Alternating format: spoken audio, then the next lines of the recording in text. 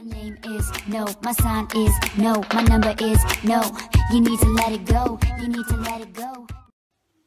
Salut tout le monde, aujourd'hui on se retrouve pour un bilan lecture du mois de janvier et février. Euh, alors oui, c'est très rare, euh, enfin c'est très rare. Ça faisait très très longtemps que j'avais pas fait de bilan lecture. Il faut savoir que c'était à cause du, de manque de temps parce que déjà j'avais euh, j'avais pas beaucoup de temps pour poster des boucoles et en plus j'aime moins les bilans, voilà. Euh, et surtout j'arrive pas bien à les tourner, c'est-à-dire que des fois j'explique vraiment pas bien les livres. Euh, quand je j'explique, j'ai l'impression que c'est nul et quand je regarde, je comprends rien moi-même alors que je connais l'histoire. Donc c'était assez catastrophique, mais là je vais essayer de faire mieux parce que ça fait très longtemps que je n'avais pas fait. J'avais un peu envie de le faire, surtout qu'il y a vraiment pas beaucoup de livres. Donc on va commencer tout de suite avec en deux mois que 4 livres. Au début, vous avez, je suis sûre, vous avez cru que c'était en deux mois 40 livres. Non, non, seulement 4. Oui, c'est vraiment rien. Donc 3 au mois de janvier, 1 au mois de février. Mais je n'ai pas eu le temps parce que j'ai vraiment beaucoup travaillé au mois de février. Et euh, j'ai aussi lu des mangas à la place. Donc je vous expliquerai tout ça après. On en parlera après. D'abord c'est les livres. Et oui c'est vraiment rien du tout. Euh, je sais pas. En plus au mois de février le livre il m'a pris tout le mois. Euh, parce que je l'ai un peu laissé traîner. Je voulais pas lire tout le temps parce que ça a été un gros coup de cœur. Bref. On commence tout de suite avec le premier livre de l'année, la première lecture de l'année, c'est Phobos de Victor Dixon de Robert Laffont collection R. Alors, Phobos, c'est euh, une espèce de télé-réalité qui se passe dans l'espace euh, où il y a six filles et six garçons qui vont devoir trouver un, un conjoint, voilà c'est ça. donc c'est en fait une télé-réalité où il faut séduire, essayer de trouver l'amour de sa vie, etc. et chaque jour, il va y avoir un entretien où chaque candidat euh, va voir euh, soit une semaine c'est les garçons qui choisissent qui ils veulent voir et c'est un garçon chaque jour et une autre semaine c'est les filles qui choisissent qui elles veulent voir voilà c'est tout pour euh, pour la, télé-réalité, mais sinon, chaque euh, ça, ça pas, ce n'est pas aussi bien que ça en a l'air parce que tout simplement, chaque candidat cache quelque chose et l'émission cache aussi quelque chose, mais ça on le découvre bien assez tôt dans le film. Donc on suit, euh, on suit les candidats qui sont sur Terre, euh, qui sont dans l'espace, pardon. Et on suit, on suit aussi ce que les spectateurs voient à la télé, on suit, aussi un autre, une autre personne qui va enquêter sur cette télé-réalité et on suit euh, les producteurs, euh, ceux qui ont mis en place cette télé-réalité. Euh, à la fin, les candidats vont, donc quand ils auront choisi leur conjoint, on, va, appeler ça des conjoints, ils vont atterrir sur Mars et ils vont la coloniser. Donc ils vont s'installer, il y a des installations là-bas, il y, a des, il y a des espèces de Enfin non, c'est des belles maisons. Et en fonction de leur popularité, ils auront une plus, euh, ou moins belle maison, voilà, grande, etc. Ils ont plus ou moins d'avantages. Donc ça c'est pour l'histoire. J'ai vraiment adoré, c'était vraiment super bien. Euh, je sais pas trop quoi dire d'autre. Euh, le côté espace, j'avais jamais testé encore. Franchement, ça me, j'ai beaucoup aimé.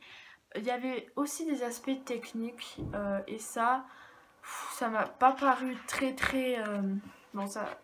Ah oui, aussi il y a des petites, euh, petites fiches, petites explications, soit de leur trajet, soit du fonctionnement du vaisseau, soit de comment est le vaisseau. Et ces petites fiches pour moi, enfin non pas ces petites fiches, il y avait certains aspects techniques qui m'intéressaient pas vraiment, qui n'avaient pas avancé l'histoire. Euh, mais c'était, il y en a vraiment pas beaucoup. Euh, franchement, un, ça fait pas peur, mais des fois, c'est un peu, ça fait un peu de thriller. Thriller, pardon, j'ai jamais thriller, euh, je sais pas pourquoi j'ai dit. Et ça, ça fait pas vraiment peur, hein, mais ça donne quand même un petit côté comment, enfin voilà, vous voyez ce que je veux dire, comment est-ce que euh, qu'est-ce qui se passe, euh, pourquoi, etc. J'espère que vous m'avez compris, sinon euh, si je vous disais, vous saurez tout.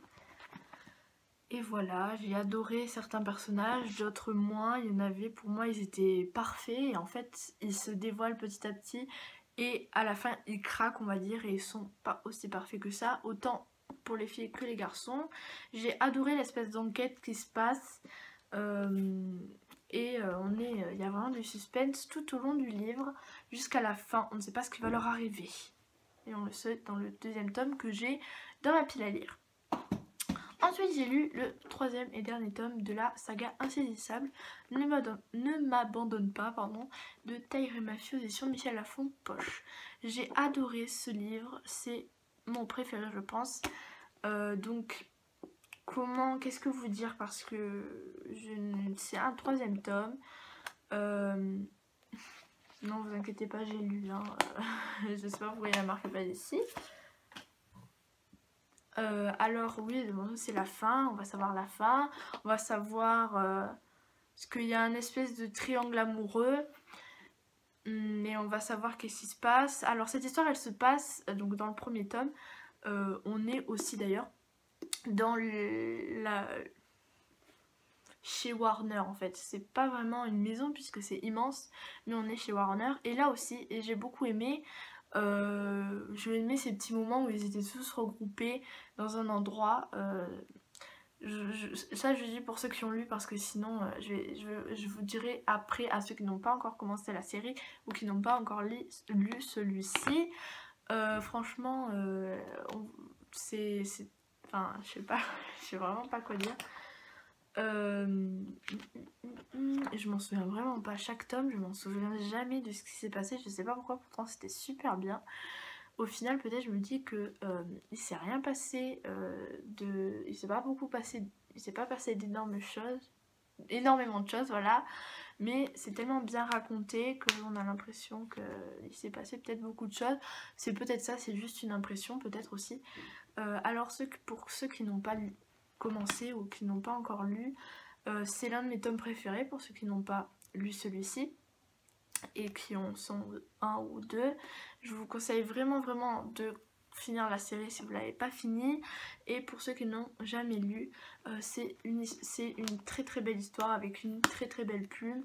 Je pense que vous connaissez le synopsis, de, le, synopsis depuis le temps mais on sait jamais. Donc c'est un monde un peu c'est une dystopie en fait où euh, on va suivre Juliette qui est enfermée dans une cage, euh, dans, un asile de fous.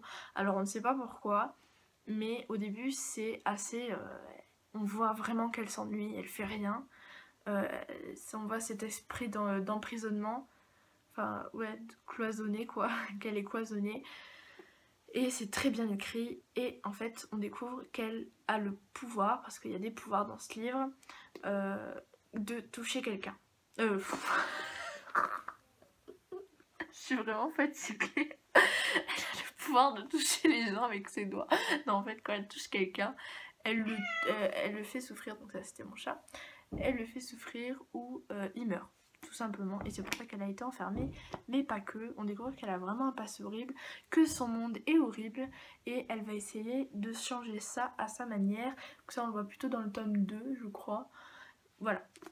Je vous en dis pas plus. Aïe, me suis arraché un cheveu. Ensuite, on continue avec, avec Red Queen de Victoria Aveyard de l'édition MSK. Donc, par contre, pour ce livre, je suis dégoûtée. Parce que je n'aimais pas la couverture. Euh, c'est mon chat qui se met dans, un sac. C'est génial. non, il n'y a rien à l'intérieur. Hein. Euh, j'aimais pas la couverture. Alors, j'adore euh, cette image-là. Mais ça comme ça, bon c'est un peu tous les livres des éditions MSK, j'aime pas trop. Voilà, et j'ai vu qu'ils étaient sortis en poche dans deux éditions différentes. Donc le livre de Paul Genet je crois, où il est juste magnifique. Et j'étais trop dégoûtée. Et euh, une autre édition, mais qui est aussi très très jolie. C'est pas la même ouverture, mais voilà. Euh, c'est parti. Alors, là c'est un monde euh, qui est divisé en deux. ça, fait souvent ça dans les livres. Où il y a d'un côté les rouges, c'est sont de pauvres gens qui sont au service des argents. Ils doivent essayer de survivre. Faut qu'ils aient un travail avant leur majorité. Je sais plus ce que c'est la majorité. Sinon, ils sont envoyés à la guerre, donc on s'en fout un peu beaucoup d'eux. Et d'un autre côté, il y a les argents, donc c'est les nobles, les riches. Euh, ils ont des pouvoirs, enfin voilà quoi. Ils ne sont pas méprisés. Donc ça c'était mon chat. Oui, qu'est-ce que tu veux? Peut-être si elle viendra un jour, je pourrais vous la montrer. Je sais pas si vous l'avez déjà montré, mais bon, c'est pas grave. Euh, oui, parce que c'était une fille. Et voilà, donc on va suivre, euh, je sais plus comment elle s'appelle, Mar, voilà, qui, euh, elle, bah, essaie de survivre dans cette société. Son meilleur ami va peut-être être envoyé à la guerre. Ses trois grands frères ont été envoyés à la guerre. ça, enfin voilà. après, elle a une autre soeur, mais ça, on s'en fiche. et elle essaie elle aussi de trouver un travail parce que sinon, même si c'est dans assez longtemps, elle va aussi être envoyée à la guerre jusqu'au jour où elle découvre qu'elle a des pouvoirs elle aussi. Donc qu'est-ce qui va se passer? En plus, dans des circonstances extraordinaires, on va dire, euh, elle va, euh, ses pouvoirs vont être montrés, enfin elle va, vont être révélés devant le roi et la reine et les deux princes. Donc ça, je ne vous dis pas comment, je vous dis pas pourquoi, mais voilà, et qu'est-ce qu'ils vont faire? Euh, Ils vont la tuer, ils vont la cacher, sauf que ça a été montré devant aussi beaucoup de nobles. Vous le découvrirez dans Red Queen. J'ai vraiment adoré, ça a été vraiment bien. L'histoire a mis un peu de place à ce... Ah, elle est là. Viens, n'aie pas peur. Je sais, je parle toute seule, mais... Les gens, ils verront après. Jeka Autorité. Elle veut sortir, je crois. Bon, je vais la laisser sortir, je reviens. Bonjour, je disais donc que le début a mis un peu de temps à se mettre en place, mais bon, on découvrait le monde, euh, qui s'est passé. Euh, bon, bien sûr, je pense que vous avez un peu compris qu'il va aussi y avoir, comme dans toutes les dystopies, des rebelles qui vont essayer de se rebeller contre cette euh, anarchie.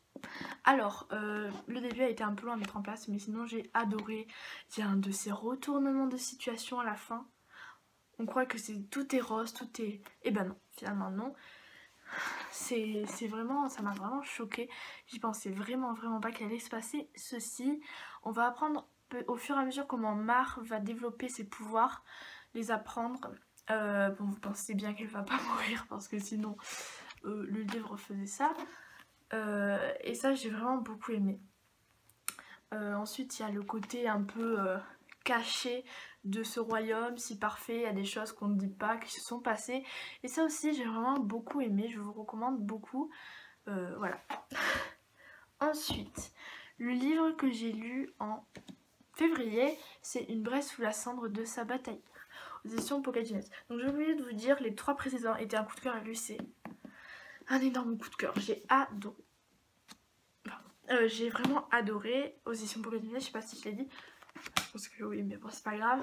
J'ai vraiment adoré, je ne sais pas quoi vous dire de plus.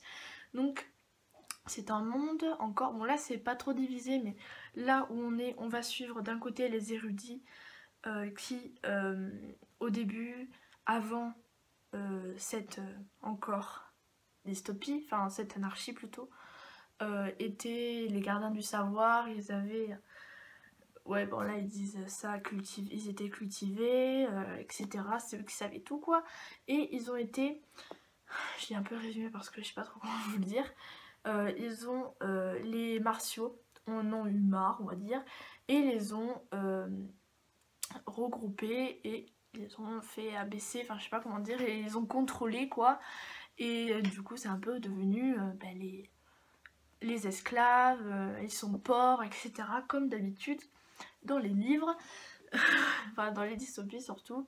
Et les martiaux, ben, ils sont riches, euh, etc. Ils peuvent aller à... Ils peuvent devenir, suivre une formation pour devenir des masques. Et les masques, euh, ce sont des méchants policiers, on va dire. Très très méchants. après, je sais pas quoi vous dire de plus. Oui, il y a la résistance aussi, encore. Euh, mais là, on va plus suivre la résistance quand même. Quoique dans Red Queen aussi, en fait. Quoique dans Insaisissable aussi, en fait. Et quoique dans Phobos aussi, en fait. Parce qu'il y a une sorte de petite résistance. Bon, il y a toujours des résistances, de toute façon. De la résistance. Euh, voilà, on va beaucoup suivre la résistance. En fait, je sais pas trop quoi, vous dire. Je préfère ne pas vous en dire trop sur ce livre parce que moi, j'en savais pas beaucoup du tout. Euh, et je préfère que vous aussi vous ayez ça. Sauf si vous êtes français. Mais c'est dommage. Euh, voilà, donc euh, je préfère euh, ne, vous rien, ne rien vous dire. Par contre, je veux bien vous dire mon avis. j'ai adoré parce que j'ai plus aimé au début, après, comme ça se croisait en fait. Donc on suit deux points de vue. Donc comme les deux points de vue se croisaient, ça a été mieux. Mais j'ai beaucoup aimé le point de vue de Elias, un peu moins celui de Leia. Il est quand même intéressant, mais c'est mon avis. parce que Leia, en fait, on suit une érudite, enfin, du coup, une, une basse classe, on va dire une fille issue de basse classe, et Elias, c'est un masque. Qui suit sa formation et qui en est à la fin. Et aussi un espèce. Euh, pas de Hunger Game, mais il y a un espèce de championnat, on va dire, vous verrez. Pour. Non, je vous dis pas, je vous dis pas pourquoi. Et aussi, euh, il y a de la.